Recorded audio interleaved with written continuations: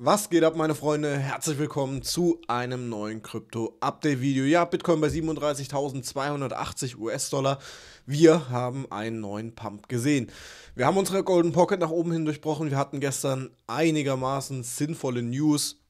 Wie gesagt, die ganze Binance-Geschichte ist jetzt erst einmal vom Tisch. USA geeinigt, CZ äh, tritt zurück. Die USA hat hier einen Arsch jetzt gefühlt jeder Börse. Coinbase, Binance, ich glaube, Kraken wurde ja jetzt auch noch äh, mal wieder angegangen. Also momentan versucht die, ja, die USA hier ordentlich Welle zu machen dagegen, um BlackRock komplett hier ja, freien Lauf zu lassen. Ist das alles wirklich so positiv? Für den Chart auf jeden Fall erst einmal ja. Wir schauen uns das jetzt mal an, wie wir uns möglicherweise positionieren können. Heute ist Feiertag in den USA, Thanksgiving, also auch da denke ich mal, wird es heute ein relativ ruhiger Tag werden. Bevor wir jedoch starten, lasst dem Video gerne ein Like da, abonniert den Kanal, wenn ihr es noch nicht gemacht habt und natürlich gerne in die kostenlose Telegram, Talk und Signalgruppe reinschauen. Wenn ihr Bock auf Updates, News und Signale, kommt da gerne rein. Den Link dazu findet ihr unten in der Videobeschreibung. Gestern ein Video zu New Eternal Life gemacht wegen der äh, Crypto Debit Card. Schaut euch das gerne an kam sehr, sehr gut von euch da draußen an. Alle wichtigsten Fragen beantwortet, wie ihr es beantragt, äh, was es für Vorteile gibt, etc. pp. Und es gibt derzeit noch ein kleines New Eternal Life Giveaway von äh, 100.000 Euro in ELT-Token. Da könnt ihr gerne mal vorbeigucken. Ist in der Gruppe alles angepinnt. So, jetzt aber rein in die Analyse. Wie gesagt, Bitcoin bei 37.280 US-Dollar. Wir haben ein höheres Hoch, zumindest von dieser Gegenbewegung nach unten erst einmal gesehen.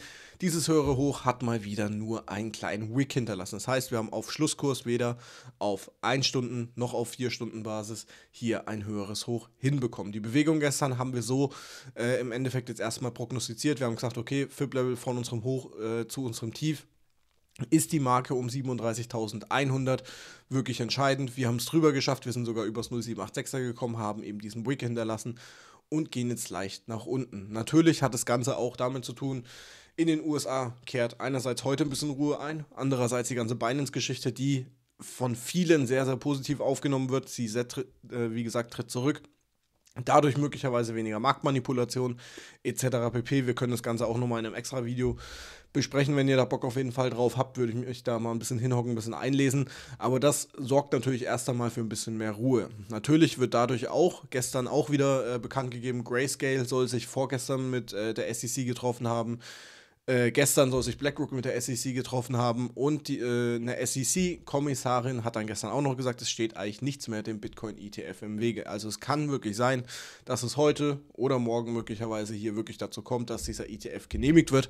Natürlich ist es alles schon eingepriesen. Man sollte da wirklich vorsichtig sein, dann irgendwelche Moon-Dinger rauszuhauen. Natürlich wird wahrscheinlich ein sehr, sehr großer Impuls kommen. Dieser wird aber wahrscheinlich dann auch sofort wieder abverkauft werden, genauso wie wir es damals bei XRP gesehen haben. Also vorsichtig sein. Grundsätzlich ist es bullish, ist es vor allem langfristig bullish, aber wir sollten hier noch etwas vorsichtig sein. Die Bewegung auf jeden Fall. Wir haben ein bisschen mehr Volumen reinbekommen, sieht alles schön gut aus.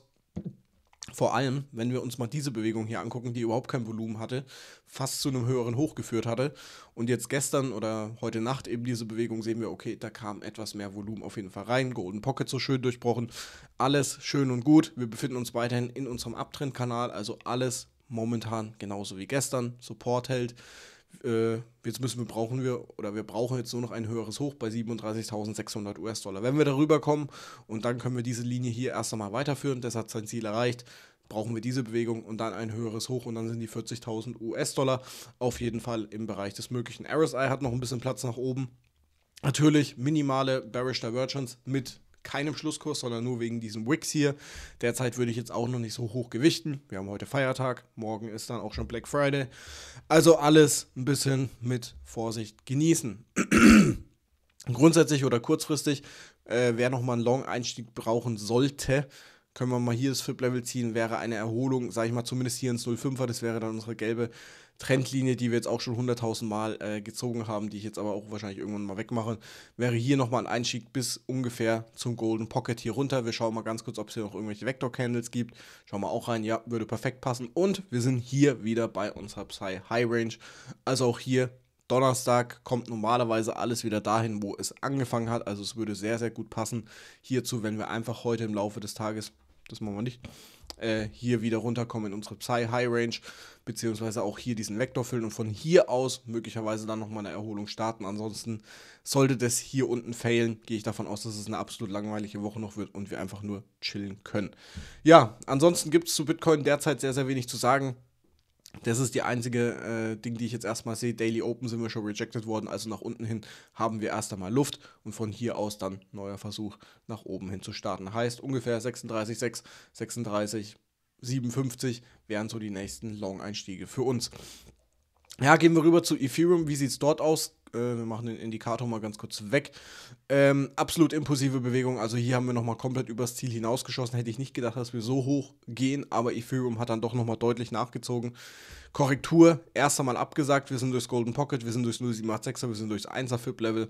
Also komplett hinfällig. Wir haben aber auch hier, und das ist jetzt so dieses kleine Problem, kein wirklich signifikant höheres Hoch gebildet auf 1 Stunden Timeframe. Wir schauen das Ganze auf einen 4 Stunden Timeframe an. Höheres Hoch, Liquidität abgegriffen, ja um knapp einen Dollar und das war es dann auch schon wieder Korrektur eingesetzt. Also auch hier wäre es ehrlicherweise wirklich sinnvoll, FIP-Level zu ziehen, und dann sehen wir schon, okay, das 05er liegt bei 2010 US-Dollar, also perfekt hier wieder mit unserer gelben Linie Übereinstimmung. Ansonsten, wenn wir nur die Wicks hier oben verbinden sollten, die aber auch nicht wirklich elegant hier oben sind, das seht ihr selber, sieht absolut bescheiden aus, würde ich nicht machen, dann wäre trotzdem hier das 05er bzw. das Golden Pocket die nächsten Einstiege.